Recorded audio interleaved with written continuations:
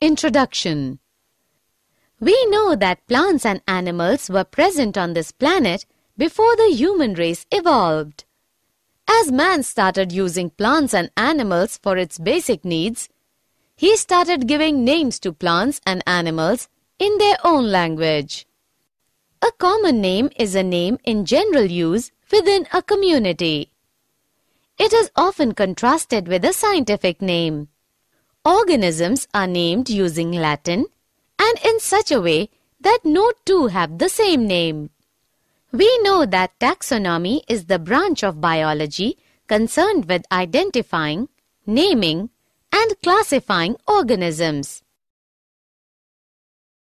Objectives At the end of this lesson, you'll be able to identify taxonomy categories, understand species, understand genus, find the types of family, understand types of order, understand class, understand phylum,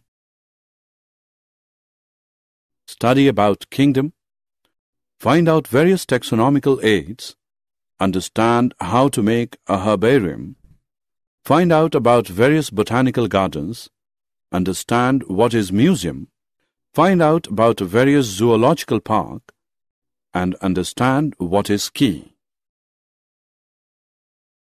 Taxonomy Naming and identifying organisms began with Greeks and Romans.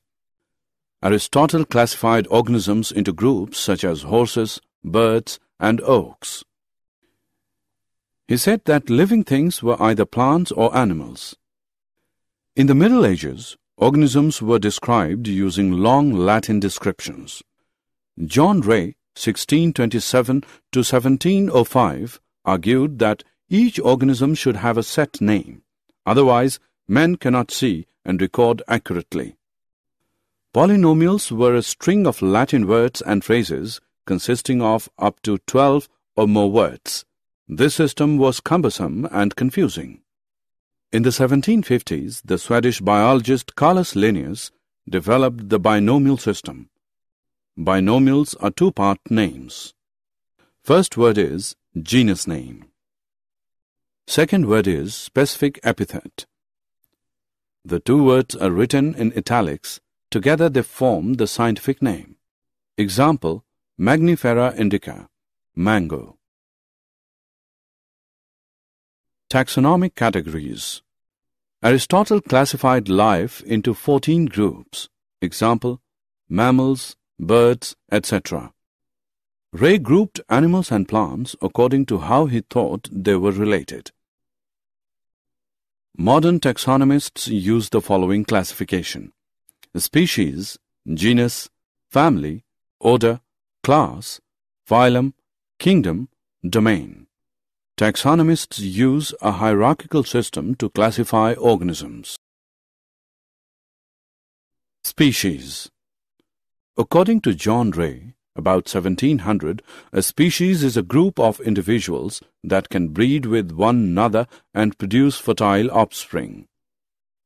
Ernst Mayr, 1940s, proposed the biological species concept.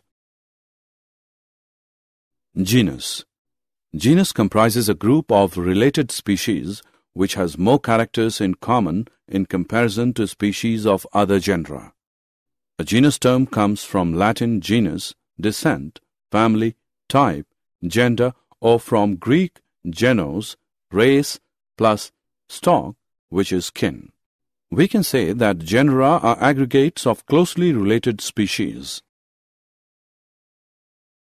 Family Family has a group of related genera with still less number of similarities as compared to genus and species. A family term comes from Latin familia, which means familial. Example, we can say potato, tomato, and brinjal belong to Solanaceae family, while lion, leopard, tiger, etc. come under family Felidae. Order A group of closely related families having certain common characters. An order term comes from Latin ordo, series, row, order. Example, plant families Solanaceae and Convolvulaceae are included in the order Polymoniales, while animal families like Felidae and Canidae come under order Carnivore. Class A group of closely related orders having certain common characters. A class term comes from Latin classes, a class or order, sort, kind. Example Class Mammalia Phylum In biology, a phylum is a taxonomic rank below kingdom and above class. A group of closely related classes having certain common characters. In botany, phylum is equivalent to division. Kingdom The kingdom or regnum is a taxonomic rank in either the highest rank or the rank below domain. Each kingdom is divided into smaller groups called phyla. A system of six kingdoms is Animalia, Plantae, Fungi, Protista, Archaea, Bacteria, while some consider only five kingdoms Monera, Protista, Fungi, Plantae, Animalia. Domain Domain is the highest taxonomic rank of organisms, higher than a kingdom. It is also called superregnum, superkingdom, or empire. According to Carl Woese, there are three domains. Archaea, bacteria, eukaryota. Taxonomic aids Storehouses of information and specimens which can help in identification and classification of organisms are called taxonomic aids. There are several taxonomic aids like herbaria, botanical gardens, museums, and zoological parks. Herbarium Herbarium is a storehouse of collected plant specimens that are dried, pressed, and preserved on sheets. Further, these sheets are arranged according to a universally accepted system of classification. These specimens, along with their description on herbarium sheets, become a storehouse or repository for future use. The herbarium sheets also carry a label providing information about date and place of collection, English, local, and botanical names, family, collector's name, etc. These specimens may be whole plants or plant parts. These will usually be in a dried form, mounted on a sheet, but depending upon the material may also be kept in alcohol or other preservatives. The specimens in a herbarium are often used as reference material in describing plant taxa. Some specimens may be types. Botanical Gardens a place where a variety of plants are grown, primarily for scientific or educational reasons, but are normally open to the public and include ornamental plants from around the world. These specialized gardens have collections of living plants for reference. Plant species in these gardens are grown for identification purposes and each plant is labeled indicating its botanical scientific name and its family. The famous botanical gardens are at Royal Botanical Garden Kew, England. The famous Indian Botanical Research Institute, Lucknow, India. Museum Biological museums have collections of preserved plant and animal specimens for study and reference. Biological museums are generally set up in educational institutes such as schools and colleges. Specimens are preserved in the containers or jars in preservative solutions. Plant and animal specimens may also be preserved as dry specimens.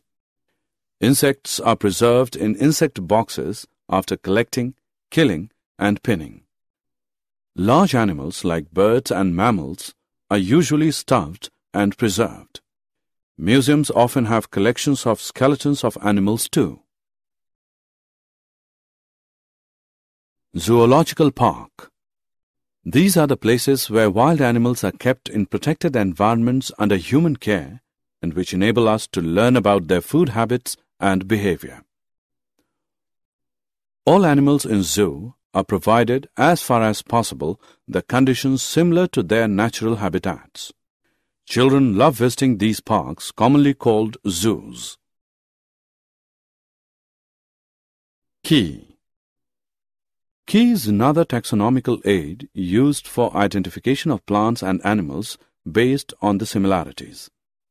The keys are based on the contrasting characters generally in pair called couplet.